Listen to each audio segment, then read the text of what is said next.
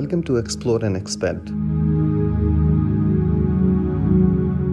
तारीख गवाह है कि हमने आज तक अपने किसी हीरो की ना ही उसकी ज़िंदगी में कदर की है और ना ही उसे वो मुकाम और मर्तबा दिया है जो उसके शाया निशान था ये हमारा कौमी अलमिया है कि हम अपने मोहसनों को उनके मरने के बाद हीरो मानते हैं मैं इस वीडियो में मोहम्मद अली सदपारा का ऐसा कारनामा बताना चाहता हूँ शेयर करना चाहता हूँ कि जो कि हम में से बहुत ही कम लोग जानते हैं। नांगा पर्वत को लोकल जबान में दयामीर भी कहा जाता है और ये दुनिया की नाइन्थ बड़ी पीक है जिसका एल्टीट्यूड 8,126 मीटर है। नांगा पर्वत क्योंकि हिमालयन रेंज में आती है और ये हिमालय के मगरब में वाक़ है।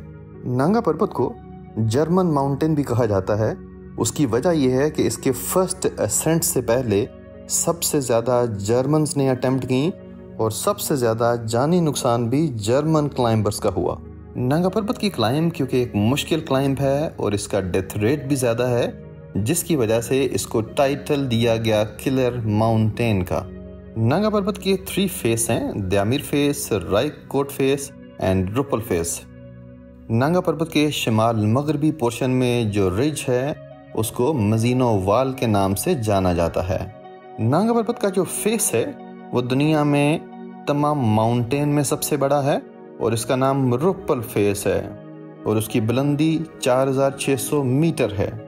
नांगा पर्वत पे पहला एक्सपीडिशन अठारह में एल्बर्ट एफ़ मेमरी ने लीड किया और इसके साथ थे जेफरी हेस्टिंग जो कि 6100 मीटर तक पहुँच सके दयामिर फेस के रास्ते। इस एक्सपीडिशन में ममरी और टू गुरखा साथियों की मौत वाक़ हो गई। इस वाक्य के बाद नांगा पर्वत के ऊपर एक लंबी खामोशी छा गई और सैंतीस साल तक कोई क्लाइंबर नांगा पर्वत की तरफ़ नहीं आया। अगर नांगा पर्वत पे उन्नीस के डिजास्टर की बात करें तो नांगा पर्वत जो कि दुनिया की नाइन्थ बड़ी माउंटेन है, उसने दस जाने ले ली। और ये डिज़ास्टर उस वक्त माउंटेनियरिंग हिस्ट्री का सबसे बड़ा डिज़ास्टर था। 1934 का ये expedition German climber Willy Merkl ने लीड किया। और इस एक्सपेडिशन को जर्मन की नाजी गवर्नमेंट की फुल सपोर्ट हासिल थी। इस एक्सपेडिशन में विली मैर्कल के साथ तीन जर्मन क्लाइंबर और सिक्स शर्पा को सिवियर फ्रॉस्टबाइट हुआ और हाई एल्टीट्यूड सिकनेस हो गई जिसके बायस इन दस क्लाइंबर्स की मौत वाक़ हुई। नांगा पर्वत पे फ़र्स्ट कामयाब असेंट से पहले 31 क्लाइंबर्स की मौत वाक़ हुई और इसी वजह से इसको किलर माउंटेन का टाइटल दिया गया। उन्नीस सौ सैंतीस में कार्ल वाइन ने एक्सपेडिशन लीड किया, जिसमें सेवन जर्मन क्लाइंबर्स और नाइन शर्पा थे। बर्फबारी बहुत ज़्यादा होने की वजह से ये स्लोली मूव कर रहे थे और जैसे ही ये कैंप फोर के पास पहुँचे एक एवा लॉन्च ने इनको अपनी लपेट में ले लिया और इस तरह तमाम 16 क्लाइंबर्स की डेथ होगी। और ये इंसिडेंस प्रीवियस इंसिडेंट से भी बहुत बड़ा था। अगर हम नांगा पर्वत पर पहली कामयाबी की बात करें तो उन्नीस सौ तिरपन में जर्मन, ऑस्ट्रियन नांगा पर्वत एक्सपेडिशन को यह कामयाबी हासिल हुई।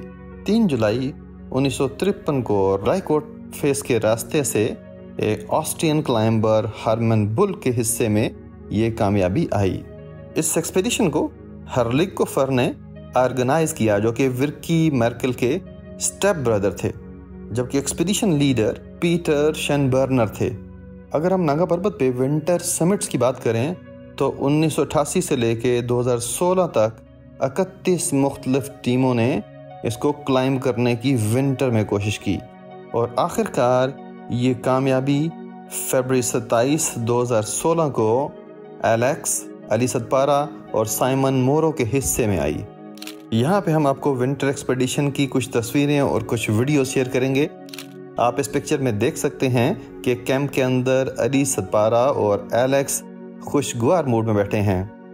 यहाँ पे आप अली सतपारा को बेस कैंप में देख सकते हैं। ये एवा लॉन्च के बाद की पिक्चर है।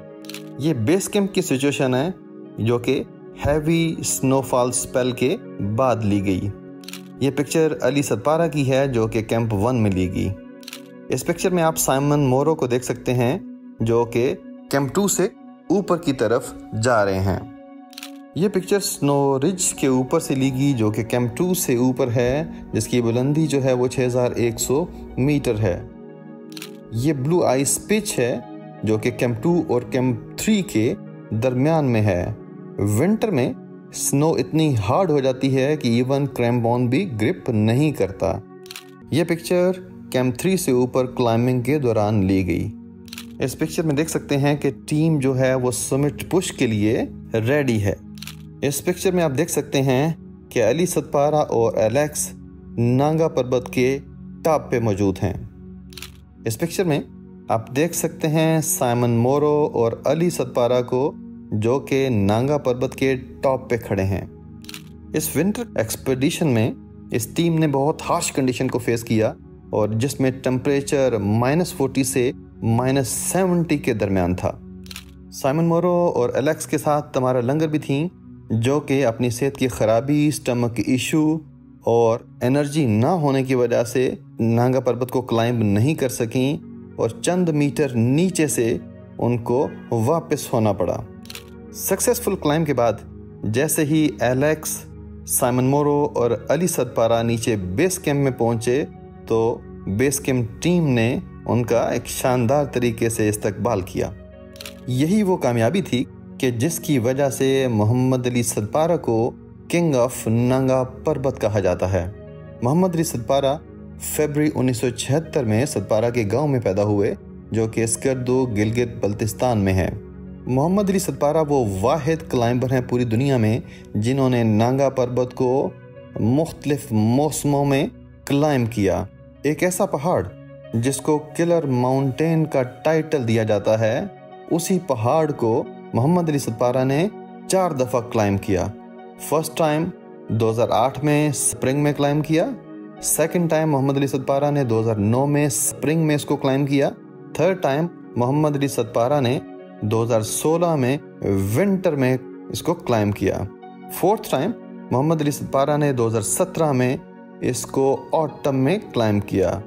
इस ऑटम एक्सपेडिशन में मोहम्मद अली सतपारा के साथ Mingma Sherpa, Ji Hong Liang, ए जोंग जिंगजू फूल शर्पा, पसंग शर्पा के अलावा सरबाज खान भी थे। यूँ मोहम्मद अली सतपारा वो वाहिद क्लाइंबर बने जिन्होंने इसको तीनों मौसमों में क्लाइम किया। नागा पर्वत पे इन्हीं कामयाबियों की वजह से मोहम्मद अली सतपारा को किंग ऑफ़ नांगा पर्वत कहा जाता है। लेकिन यहाँ पे अफसोस का अमर यह है कि मोहम्मद अली सतपारा की इस कामयाबी का हमारी माउंटेनरिंग कम्युनिटी को भी इलम नहीं है। ये एजाज़ सिर्फ़ और सिर्फ़ मोहम्मद अली सतपारा को हासिल है और हमें कोशिश करनी चाहिए कि इस एजाज़ को हम अपनी माउंटेनिंग कम्युनिटी में शेयर करें ताकि हर एक को पता हो कि मोहम्मद अली सतपारा को किंग ऑफ़ नांगा पर्वत क्यों कहा जाता था। उम्मीद है आपको मोहम्मद अली सतपारा एंड नांगा पर्वत की ये डॉक्यूमेंट्री पसंद आई होगी। उम्मीद करता हूँ कि आप इसको अब दोस्तों में शेयर करेंगे और मेरे चैनल को सब्सक्राइब करिएगा और वीडियो को लाइक कीजिएगा।